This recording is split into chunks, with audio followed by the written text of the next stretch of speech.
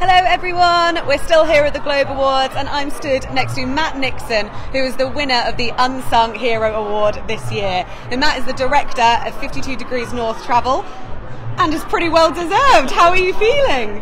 Uh, just completely blown away. Just didn't didn't have a clue that this was even a possibility. Just You really weren't expecting it. not at all. Just as they kind of uh, started um, outlining the award, and I was like, "Well, yeah, I've done that. Yeah, I've done that." No, just, yeah, just completely by surprise. Yeah. I mean, there's a lot of very inspirational people in the industry, and a lot in Yeah, this room tonight. absolutely. But you have been deemed as the most, so that's got to feel pretty good.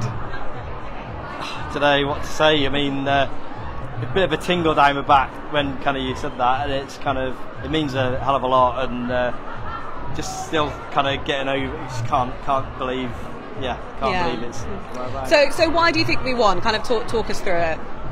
Uh, I don't know. I mean, um, I've done a few things over the last few years, but kind of all, all really to to uh, try and get people to understand that experiences that they can do it as well.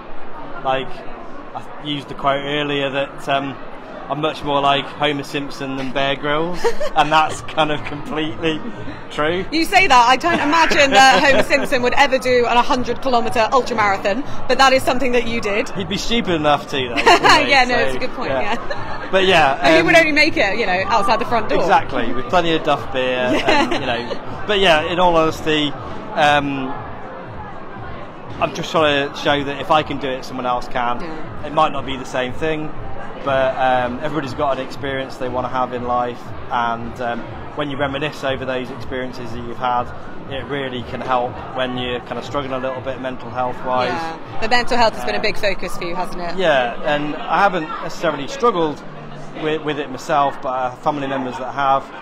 And um, but as you, as you read back those experiences and read back those things that you've done, it really does um, push forward, uh, like the, the worth, you know, the self worth, and and um, and the good times that you've had in the past, and they can happen again in the future.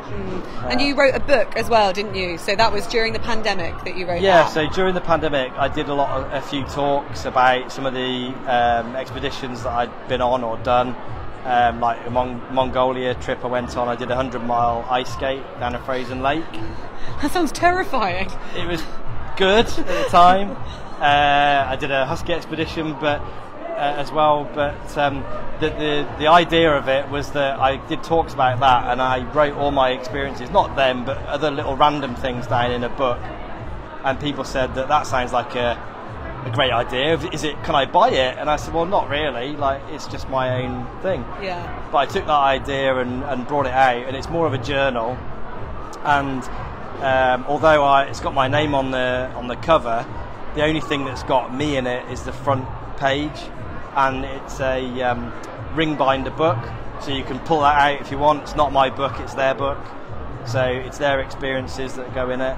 It's their memories, their happy times, their um, things that they want to look back at and remember.